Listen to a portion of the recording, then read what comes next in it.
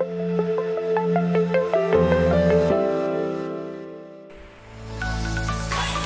morning, FTC Philippines. This is Jane from the customer service team, and welcome to another online business development training. Today, we are now on the second part of our customer service training, and Mark Cuenca will guide us on how to customize our own web store how to guide your customers to shop online using your own web stores. Beautiful morning, FKC! Ngayon, tuturuan ko kayo paano mag-customize ng inyong web store. First, kailangan niyong pumunta sa ating website www.fkcm.com Select Philippines Log into your account using your customer ID and first password.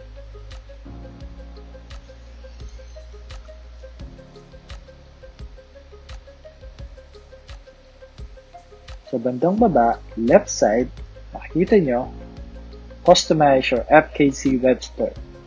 I-click nyo ito. Then, enter your second password.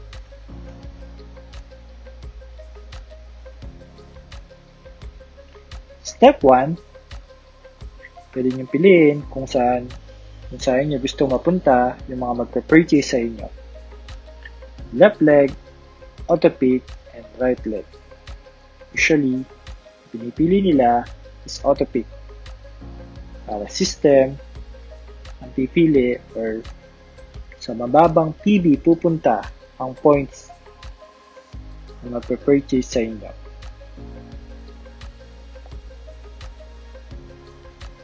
Click Submit for the second step. Sa second step, pwede nyo ilagay kung bakit nyo pinili ang FKC, kailan kayo nag-start sa FKC, ang inyong background, yung mga gusto nyo ilagay about FKC, pwede nyo ilagay dito. Then, submit. 3, pwede kayo mag-upload ng mga picture about FKC.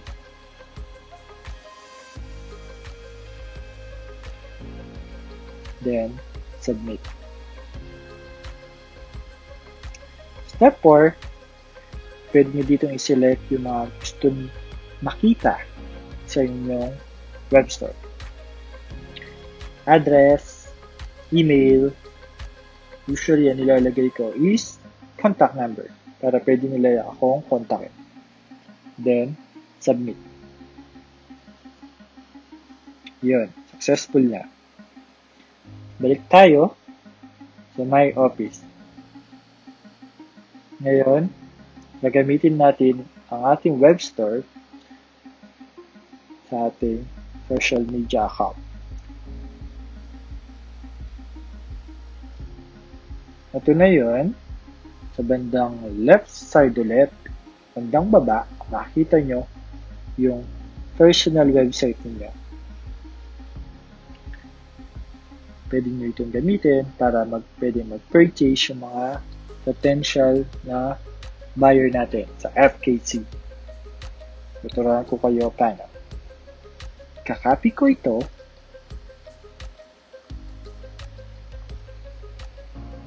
Gagawin na natin ito. Then, ito yung aking Facebook account. Ipopost ko siya sa aking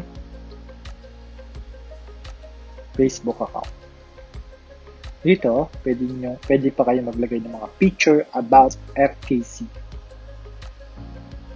Then, ipopost ko ito.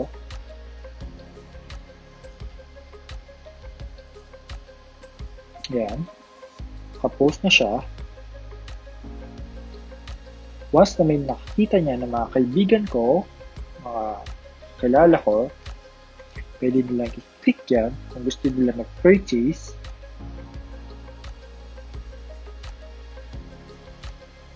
Kapag click nila yun, magda-direct sila sa inyong web store. Yan. Ito yung aking web store.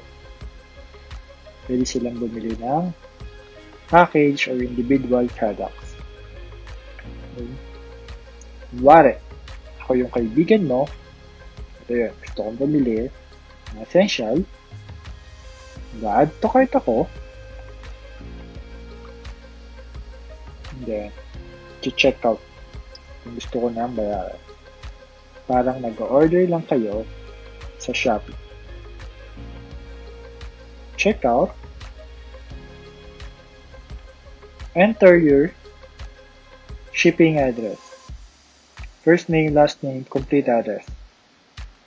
Make sure complete and correct palagi ang lalagay natin. Ngayon, gawin natin.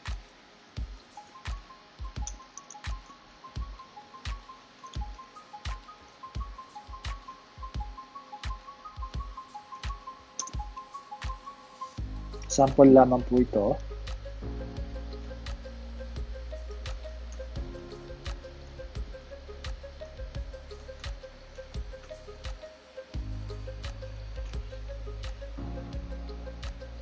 Then, pwede nyo pick up Manila, pick up Davao, or standard shipping. Next step is member information. Ito na yung information ng bagong member. First name, last name, team number, display name, password. Ayan, gawin lang natin.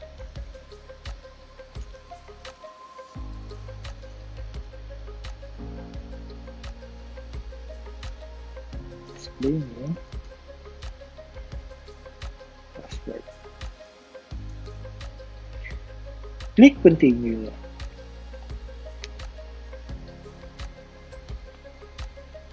After nyo ma-continue, next step na siya, payment na. Payment information. Pwede nyo ilagay or ilalagay nyo na pala dito yung credit card information na bibili. For example, ako, bumili ako, nalagay ko siya, nalagay ko na information ko,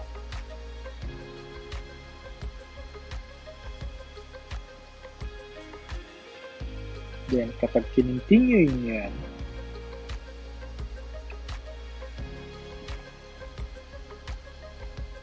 nag-generate ng system ng customer ID, first and second password.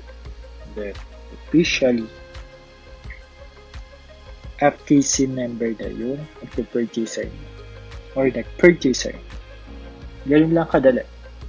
Okay?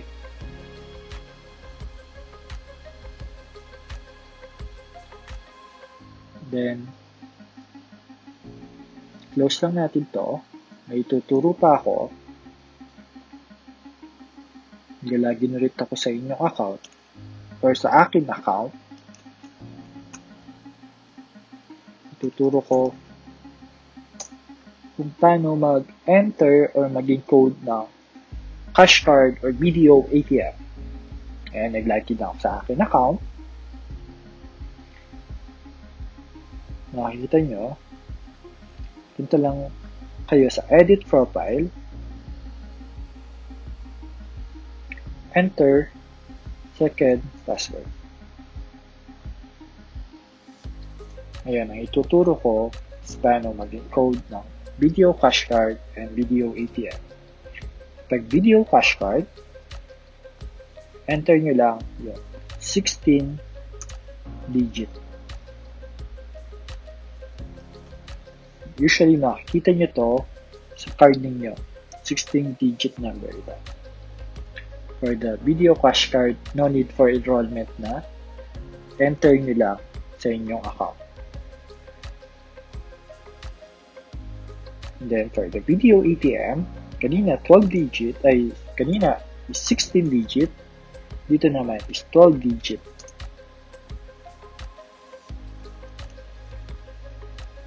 account number. Ito yung mga savings account number natin. Usually, meron dapat ito 12 digits number.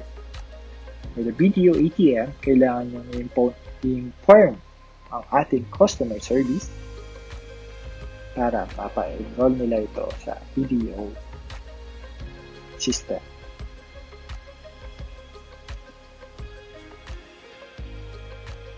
If wala pa naman po kayo mga video cash card or video ATM, pwede po kayong pumunta sa inyong pinakamalapit na branch, video branch, para magkapag-apply kayo ng video cash card or video ATM. Ayan. Kapag na-edit nyo na ito, edit profile nyo lang, click edit profile, then, okay na po every Friday ang uploading ng ating commission. Sana po, marami po kayo natutunan. Is Mark. Sa muli po, maraming maraming salamat. That's it for today. Thank you for watching everyone.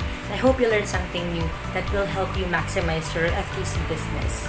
And uh, please don't forget to like us on Facebook, FTC International Philippines Incorporated, and also please subscribe to our YouTube channel, FTC Philippines hit that notification bell to get the latest videos. Thank you for watching. Stay safe. Bye-bye.